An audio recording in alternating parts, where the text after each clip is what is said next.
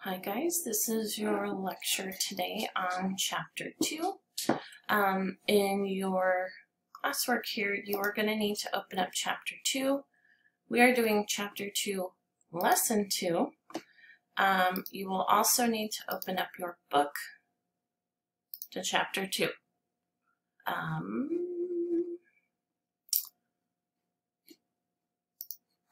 while this loads, let's talk about um, We've been learning about the archaic and the paleo people. They were some of the first prehistoric people who lived here. Um, so as time goes on and they become more advanced with their tools and their ways of living, um, they've created these civilizations that are thriving and just growing and growing because they're making more food. So more food equals more people. So now we're going to talk, um, today we're on page 54 in your online book. We're going to talk about the Pueblo farmers. Um, so our key ideas for today are the Mogollon people were the earliest full-time farmers. Um, they did a little bit of hunting, they did a little bit of gathering, but mostly they did farming. Um, other ancient civilizations developed around the world during this same time. Um, the ancestral Pueblo built the first large cities in New Mexico, and Chaco Canyon was the largest and most well-known early Puebloan community. Um, so here are some of your words, centralized government, Ekiva, matriarchal, monotheism, and polytheism in Pueblo. So this is a picture um, of the Mogollon, and they're, they were a cliff-dwelling tribe. I've shown you guys some pictures of some of the cliff dwellings because um, they're protected from the top. You know, people can't just drop in and say, hey guys, we're here to attack you. Um, the only way into these um, dwellings was this way right here. And so the enemies would try to come up from the bottom and attack them. Well, if you watch Star Wars like Miss Cantwell does, you know that you have to have the high ground. Um, high ground, you have better position, you can see everything, um, and so you have the upper hand. So, like the paleo people before them, um, the archaic people that we learned about last week, eventually they disappeared. So in their place, um, in the southwest, there were some more prehistoric cultures that start forming. These cultures were the Hohokam. Oh, that's not good. The Hohokam, guys. Okay, let's try it this way. The Hohokam, the Mogollon, and the ancestral um, Pueblo people. So all three groups created agriculture communities, um, and they were larger and they were more successful than the earlier groups because like I told you, more food equals more people. Um, they are best known though for their housing, their basketry, the way they made baskets, and their pottery. So um, the because the Hohokam people lived in what is now Arizona, we're just going to focus mostly on the Mogollon and the ancestral people. So while you're sitting here watch this, watching this, I want you guys to say this word, mogollon. In the Spanish language, two L's together make a y sound. So think about tortilla or the county of Bernalillo. So this is the Mogollon people, okay? Um, they're named this because uh, they were in the Mogollon Mountains in southwestern New Mexico, and this is where archaeologists found um, the first pieces of Mogollon pottery. They were believed to be the first um, full-time farmers and the earliest full-time farmers. Um, they grew corn, squash, several varieties of beans, and they also grew tobacco and cotton. So they um, they grew food in small gardens and they also watered um, and planted crops on the mesa. Um, we have a lot of mesa around here. That's the terrain. That's basically um, a lot of New Mexico. They depended on the mountain rains to water their gardens and crops. So because they lived in the mountains and the valleys, um, they weren't able to build those irrigation canals from the rivers to water their crops like the paleo and the archaic people.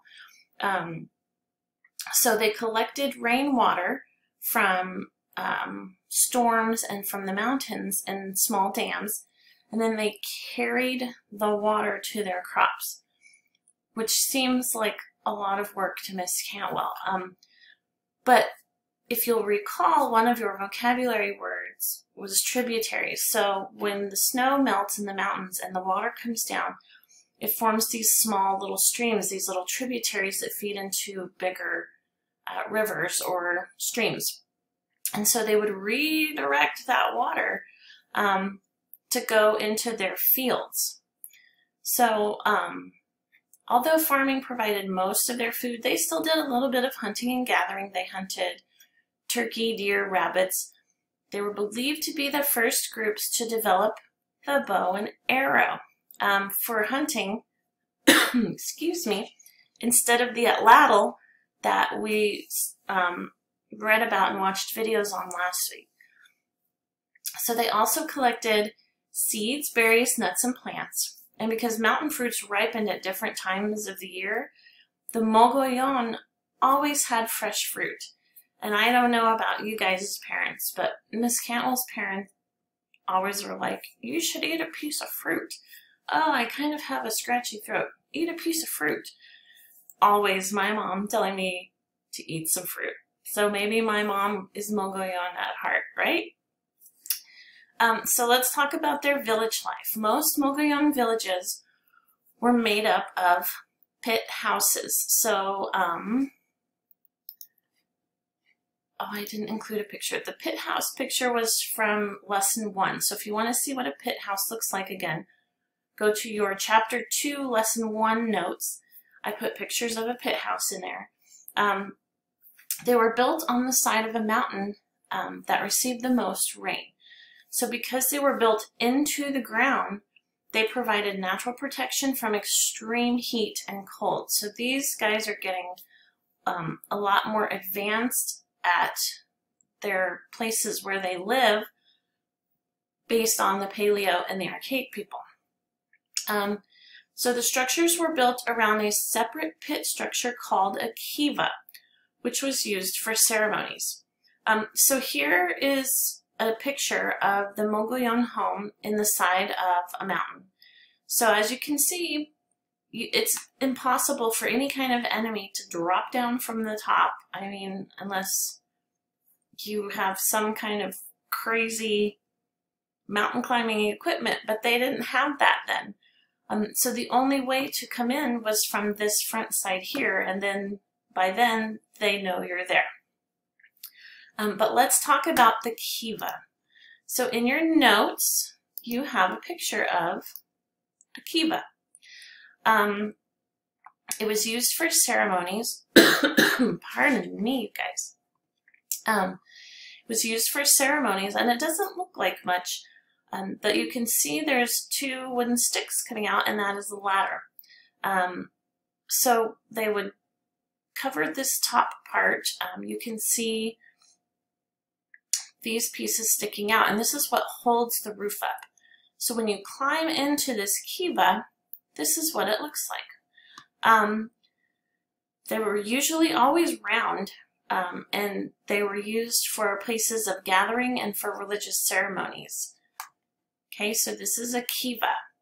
And if you go to any ruins um, in New Mexico, any places where um, prehistoric people lived or people uh, for different times in New Mexico, you can usually see remnants and remains of kivas everywhere.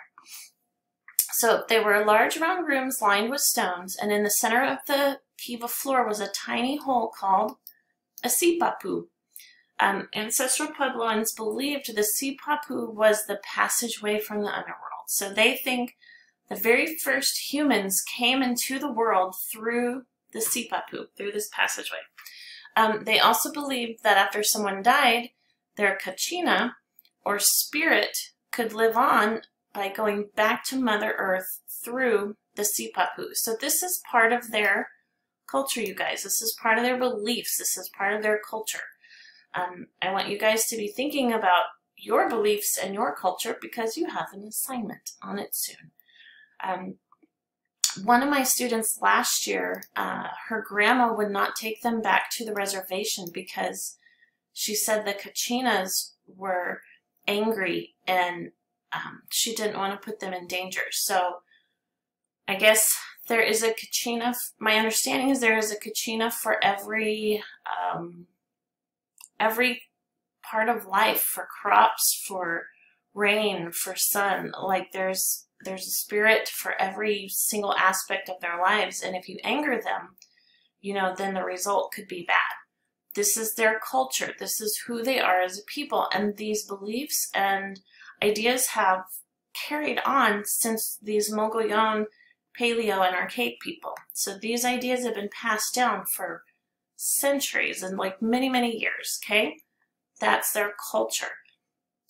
So although the main purpose of the kivas was religious, they were also used sometime as a gathering place for the men of the village. Sorry, ladies, but women rarely entered the kivas. Um, it's important for you guys to remember that during this time, um, women didn't have many upper, what's the word I'm looking for? Um, upper, higher rights than the men did. So the men were the leaders. They were the religious leaders. They were the medicine men. They cared for the village. The women um, kind of did the important, busy work to keep everything going. Um, but they weren't allowed in religious practices and this will change, and I, we will learn about it. Um, but for the Mogollon, the women rarely participated um, in the religious ceremonies. Okay, so um, here's a question for you: Why do you think the Mogollon hunted with bows and arrows instead of atlatls? Do you have any idea? Do you think? Do you know? Do you know?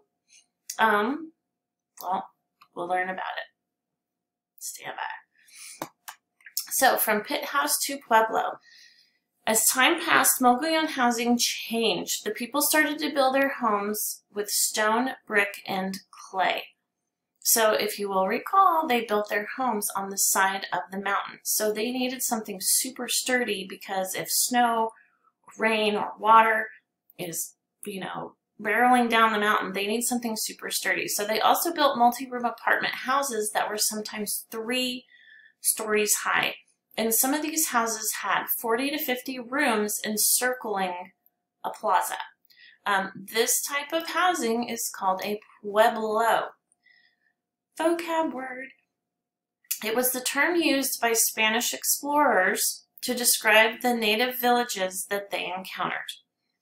Um, so this is a word made up by the Spanish, not by the natives themselves. So although the Mogollon built pueblos, archaeologists believe the ancestral Pueblo people were the first to create the Pueblo style. They think the Mogollon learned to build pueblos and kivas from the ancestral Pueblo people.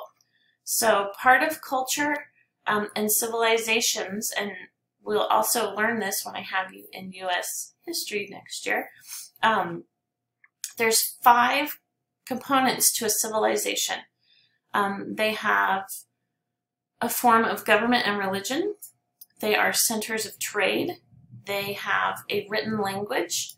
Um, they have um, specialized tools and they have, no, they have advanced tools and they have specialized jobs for each person. So what's happening here is the Mogollon took an idea part of their culture from the ancestral Pueblo and they made it their own. Um, so let me see here. So in your notes, um,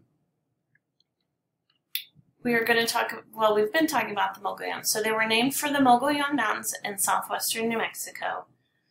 They were believed to be the full, first full-time farmers. They grew food in small gardens depended on mountain rainwater to water their crops, and they still depended on hunting and gathering, but not so much because they were really mastering the farming aspect. Um, so they lived in pit houses, and their houses were built around a kiva. And here's your picture for kiva.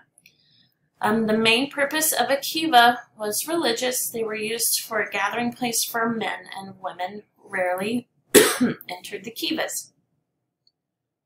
So eventually, they started building their homes from stone, brick, and clay. Um, there were multi-room apartment houses that had 40 to 50 rooms in them, and it was called a pueblo. Let me pause this, and I'm going to go find a picture of that for you, and then um, you'll be able to see what it looks like. Okay, I found some here for you.